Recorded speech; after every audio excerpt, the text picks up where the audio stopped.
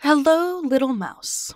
Chapter 4 A miraculous ladybug fanfiction written and narrated by Mira Rose. Artwork by Candy Fluffs on Instagram. You can find a link to Candy Fluffs' Instagram and their store where they sell super awesome stuff in the description box below. Now then, if you haven't already, don't forget to not only like this video and subscribe to this channel, but also check out the previous three parts if you haven't already. As long as we're going through the checklist, don't forget to leave a comment to help support the YouTube algorithm. And if you don't know what to comment, put pickled onions because why not? Now then, please enjoy Hello, Little Mouse, Chapter 4. Adrien Agreste, swallowing his anxiety. Ready to go? Adrien asked turning around and locking in eye contact with Marinette before either of them had a moment to so much as pack their things. Who? Uh, me? Marinette flashed an all toothed smile, but he could tell it wasn't genuine even if Alya hadn't elbowed her in the ribs as she spoke. No, I was talking about Ladybug, he joked, realizing it was in poor taste considering they were going to talk about her status as multi mouse. May I carry anything for you? He noticed Alya bite back a remark, but didn't draw attention to it. Um, sure. Just give me just, uh, just a minute though, okay? Sounds great. Meet me outside. Perfect. That went better than expected, right? Adrien had to restrain himself from humming, not knowing how that would affect Marinette mentally. He gathered his things and hopped down the stairs, beelining past Chloe and Sabrina's chatter. He debated checking himself over in the bathroom mirror, but didn't want to miss Marinette when she came out and forewent the idea. Trampling his anxiety, although it wasn't as great as it once was, Adrien greeted her with a smile in the sunshine when she came out of the building and escorted her to the car. Would he have preferred to walk to the G store and Starbucks on foot? Yes, undoubtedly. But rules were rules, and even stopping by his usual places on the route home felt like a bending of rules when there was someone else in the car. Cheese or drinks first? he asked, hoping making a choice would make her more comfortable. She looked like a mouse caught in a trap. Cute, but clearly on edge. Drink! she exclaimed. Drink is good. Drinks it is. He gave a friendly chuckle, but he noticed her shoulders tighten. Whoops. Best not use that right now. Got it. Besides, if they finish talking before their drinks, Leon wouldn't mind them walking in with them. Do you know what you want already? They both opted for steamers, her with almond and cherry flavoring, and his with vanilla, almond, and blackberry. Yum. He had them steam it at a lower temperature, because he'd rather be disappointed with a quickly cooling drink than be uncomfortable with a burned tongue, although it might keep him from saying things he shouldn't.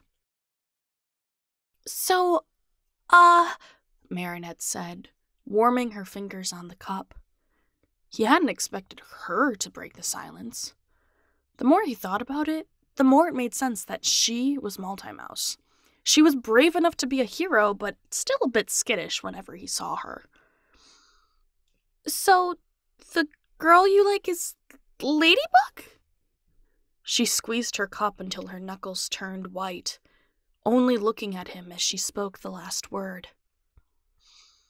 That wasn't how he expected her to open the conversation. Uh, yeah. Adrien ran a hand through his hair. He had to look away.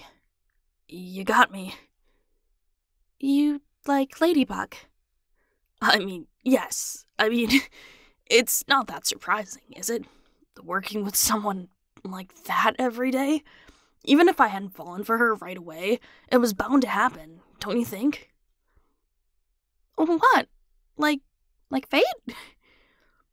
I mean, I don't want to sound like a stalker or a hopeless romantic or anything, but yeah, no matter who she is under that mask, it feels like I'm fated to be with her, you know?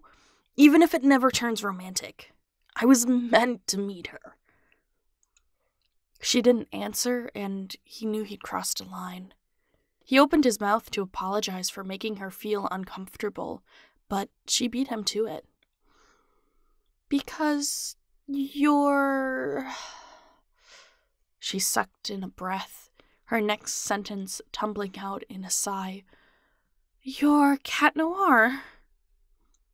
Yes. He flashed a smile as he raised his cup. Yes, I am. The blackberry steamer washed down the anxiety the confession gave, letting the relief steep through the steam. Oh, okay, Marinette said, staring at her drink. You like Ladybug? I'm surprised you remembered I like anyone. He'd only mentioned it once, maybe twice, and never by name. Well, it's not easy to forget Cat's affections for his partner she said into her cup, choosing that moment to take a sip. He chuckled, knowing the warmth on his cheeks wasn't from his beverage of choice. What, do you know something? Uh huh! Her attention snapped from the cup to him, making the first organic eye contact between them all day. You and Ladybug, has she ever talked about me? Talked about you? You know, like girl talk? He kept a smile pressed on, but realized how poor of a choice it was to ask. He surely didn't look good in the light the question gave. Um, well, she, she, uh, she likes you. Adrien felt his body melt into the same temperature as his drink. She does.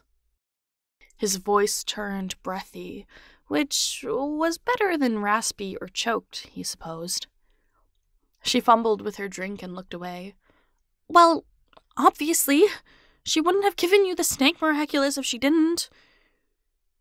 Oh, that's what she meant. For a glimmer of a betraying moment, Adrien thought she meant Ladybug likes Cat Noir. Yeah, he knew better than anyone it couldn't be that simple. Oh, yeah. Right. Makes sense now why you didn't follow through with it. Believe me, I tried. He took the lid off his cup and stared at the milk inside. But Ladybug and Aspik just don't have the same ring to it, you know? I suppose it doesn't, she sighed, mirroring him by taking her lid off too before downing the remains in a single swing. You good? Adrien finished off his drink before crumpling the cup and tossing it into the garbage. He'd never met someone who knew his identity before, besides Master Fu, but he doesn't count. He wasn't sure how people were supposed to respond. Yeah, yeah, it's just. She took a breath before throwing her cup away. I'm processing all of it. Take your time. It's not every day you find out your classmate is the most wanted superhero in the world. By Hawkmoth, you mean? Well, I don't mean Ladybug, but that'd be nice. He noticed her pink cheeks as she pulled her scarf back up, shoving her hands in her pockets. She looked extra small in the extra layers, just like a mouse in her nest. How cute. Yeah, it just, well, changes things.